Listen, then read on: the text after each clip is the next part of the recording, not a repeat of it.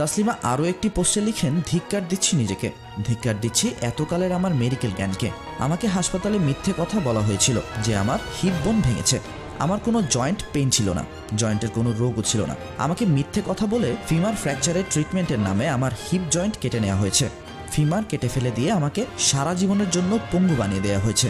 ধিক্কার দিচ্ছি আমি কেন ক্রিমিনাল টিমের ট্র্যাপে পড়লাম। আজ আমি আমার এক্স রে রিপোর্ট দেখলাম। আমার কোথাও কোনো ফ্র্যাকচার হয়নি সেদিন। গতকাল রাতে তসলিমা লিখেন, টাকার লোভী কিছু অসৎ ডাক্তার, আমি যে রোগের রোগী নই, সেই রোগের রোগী বানিয়ে আমার সর্বনাশ করেছে। আমার আয়ু অনেকটাই কমিয়ে দিয়েছে, জীবনকে দুর্বিষহ করেছে, জীবনযাপনের আনন্দ অনেকটাই নষ্ট করেছে।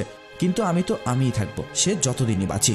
দীর্ঘজীবন না পাবো, না পেলাম, কিন্তু অল্প কদিন মাথা উঁচু করেই বাঁচবো, নিজের আদর্শ নিয়ে বাঁচবো। কোনো আদর্শ বিসর্জন দেব না, মৃত্যু এলে